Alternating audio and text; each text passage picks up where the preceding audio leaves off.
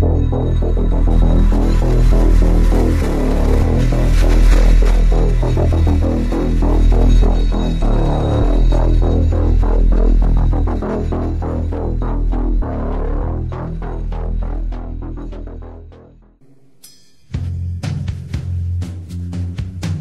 name is Nassine Sabs. Let me ask you a question. Has anything ever happened to you that you couldn't explain? That made you feel sort of foolish when you tried to tell somebody about it? Well, if it has, you have plenty of company, as you'll soon see.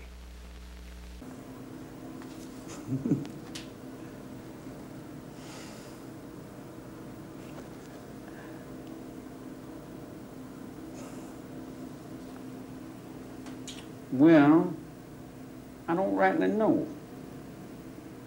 I'm stupid to the point to where I'm not really sure. Believe it or not, there are a lot of people on the outside that think about the possibility of you coming out of here, and they're genuinely scared of you. Oh, boy, I might just, just...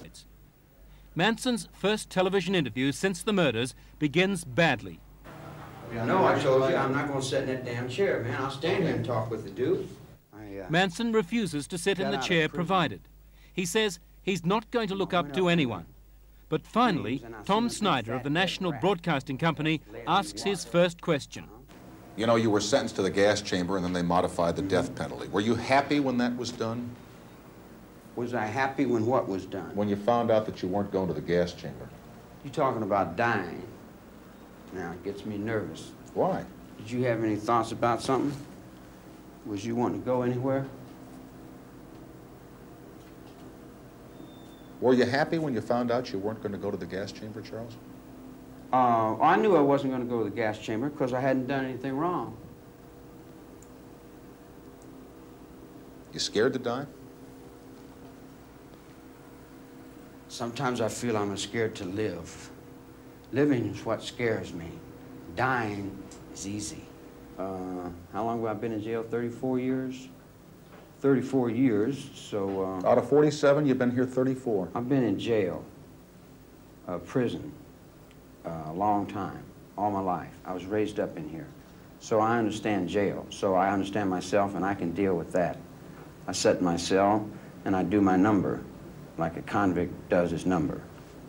But there's different colors on different people's backs doing different things. It's a different world. I love the world I live in, too, just like Reagan loves the world he lives in. You love the world you live in. Most assuredly, it's me. You love all the pain that you've caused people, all oh. the anguish you've Oh, I don't know pain. I don't know pain. I have no depth of pain. I have no depth of suffering. I don't know ridicule. I don't know all the bad things. I haven't been punished by you all my life since I was 10 years old. I've been in every reform school you got across the country and used to lay down and have to get my ass whipped till I couldn't walk. Try it one more Yeah. time. Uh, no, pull the cards uh, out. now, uh, you can see them when I'm You finished. got a pistol on you? No, sir. They wouldn't let me in here if I had a pistol. You know that as well as I do, so why even ask the question, okay? Well, I just thought you might not like what I'd done. You want to do something about it. I don't much care for what you've done. Yeah. A lot of people don't. How do you feel Yeah. about that? A lot Well- of people think you're a monster, Charles. How do you Yeah, they think you're a monster because you reflect this news media on me. Cult leader. I never had a long hair before I got busted. I never had a beard before I got busted. I went to shave, and the guy said, no, you can't shave. And I said, I need a razor to shave. He said, no, you can't shave. I said, let me get a haircut. He said, no, we don't want you to change your appearance. They said I had a great family, and I was the following and leaders and all that. There was no followers and leaders, a bunch of kids out the ranch playing. To What- me, Playing at what? playing at living. Do you miss women? Certainly. My goodness, yeah, damn right. Yeah. What do you think of women? Oh, I like them. Yeah, they're nice. If they're put together well and everything, and they're soft and spongy, yeah, they're nice. As long as they keep their mouth shut and do what they're supposed to do, Why do you say that? because that's what a woman's supposed to do. Keep her mouth shut and do what she's supposed to do? Sure. And besides the son that you had in your marriage, you've got, what, four other children somewhere? I don't uh, uh, think I've been uh, uh, responsible for as much as you people want to lay on me. All right, somewhere out there, somewhere, there's at least one son that we know of that's your child, who's probably about 25 or 26 years old. You talk to that kid. What are you going to say to him? You gotta catch it on your own, boy. Train's hard. The road's rough. And that's it. That's all I knew. That's all anyone ever told me. All right.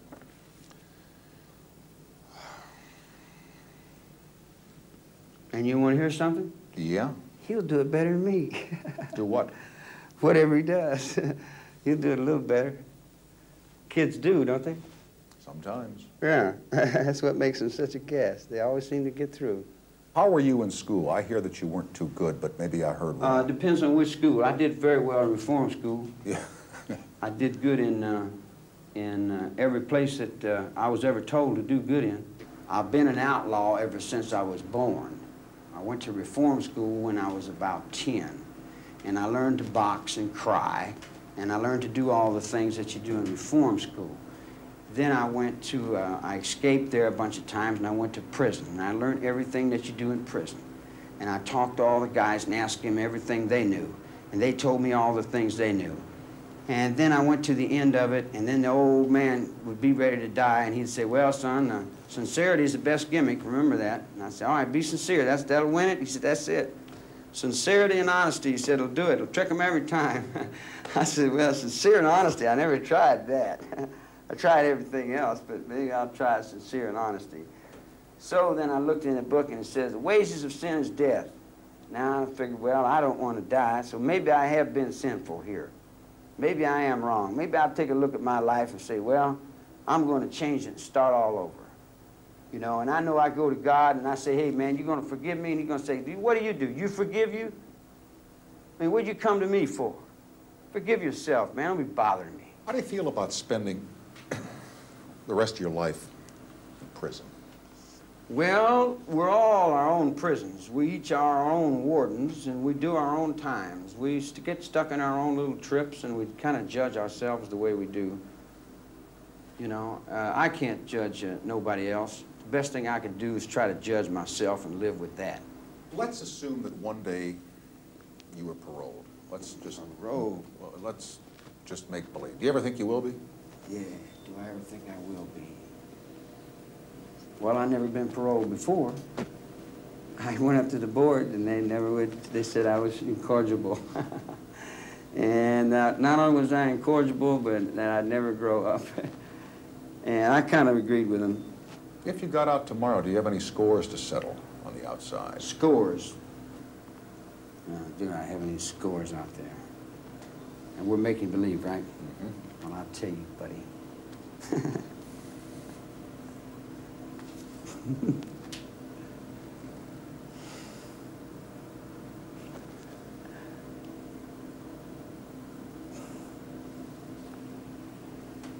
Well, I don't rightly know.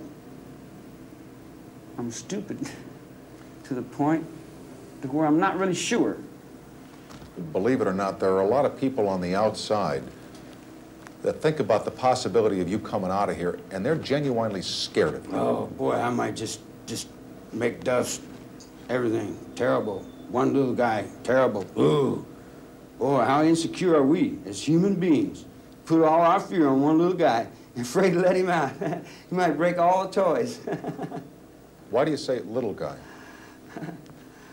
because I'm not the guy you trying to make out of me. That's not me. I don't know what my way is. Everybody keeps telling me I got all these things. I read the other day where I had magical powers, and I told everybody in the chapel, I said, zap, zap, zap, zap. I said, where's my magical powers? Uh, well, you can't read, you can't believe what you read in the press. I can get no magical powers, mystical trips, and all that kind of crap. yeah, it's kind of silly. Yeah, we got witches and devils, and um, one guy come up and said, I, I heard you said you were Jesus. I said, uh, no, man, I ain't said nothing. He said, I'm glad. He said, I'm damn glad. I said, why? He said, I know you ain't him. I said, how do you know? He said, because I am.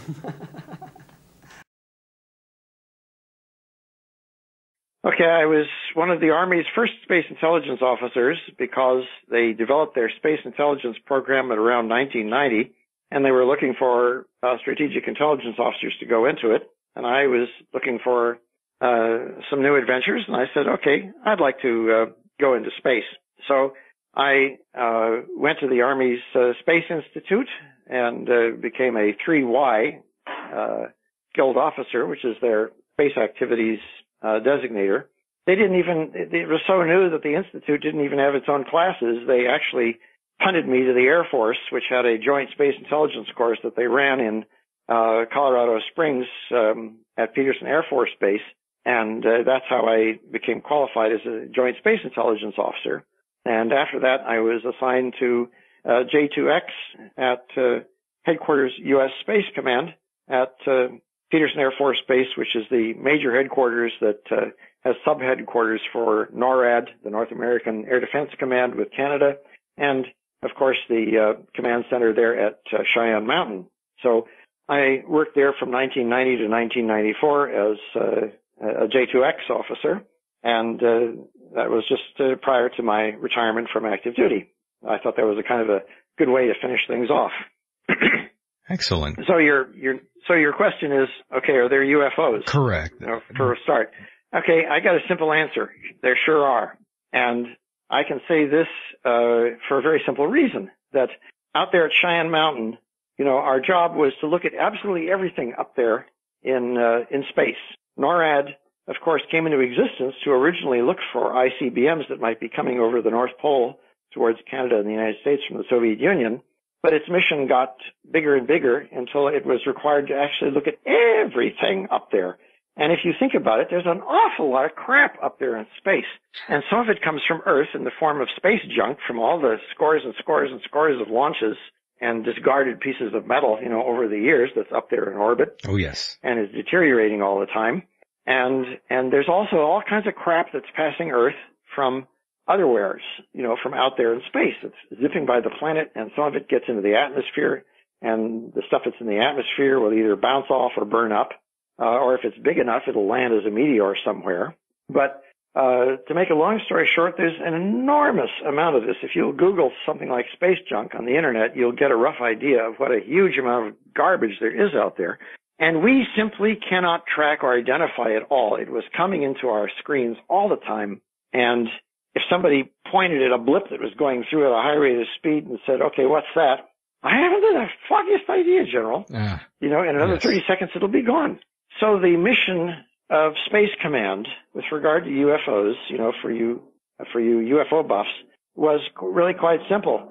We ignored that crap unless there was some reason to think that it posed a danger to the United States.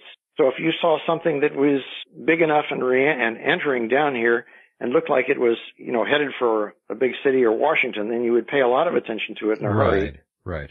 But other than that, we just screw it, you know. I mean, there's all this stuff going on out there. It's like watch, it's, it's like trying to watch the LA freeways. You know, good luck.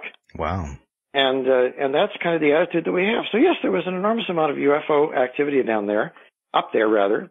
And, uh, some of it could be accidental, some of it could be, uh, deliberate. Some of it behaves very coherently, but even that is a kind of a hard judgment call to make because you think you're seeing something on a radar screen that looks as though it's intelligent activity and it may not necessarily be that at all. So, um, while I was there, 1990 to 1994, we did not have any invasions. Is what I, I, I can right. tell you that. Understood. Yes. You know, we didn't have anybody that we had to scramble the jets and go up and try and shoot it down. But that's a good. Thing. As thing. far as UFO activity, sure, lots of it. So you don't you know, believe we're you don't believe we are alone in the universe, then? Well, I think that statistically, it would be crazy to say that, and to and to and you know, Carl Sagan would agree with me first by an Englishman named Aleister Crowley in the early 20th century. It entered its modern era in this country just about 25 years ago, under the theatrical guidance of Anton LaVey, California-based high priest of present-day devil worship. LaVey founded the Church of Satan. Now, despite its preachings of evil and hate, the church and its offshoots are constitutionally protected religions. I believe that hate is necessary in a controlled way just as much as love is necessary. LaVey penned the best-selling Satanic Bible. It's the handbook of devil worshippers everywhere. And for a time, he was considered chic enough to attract the attention of Hollywood. After working together on a film, LaVey made Sammy Davis Jr. an honorary member.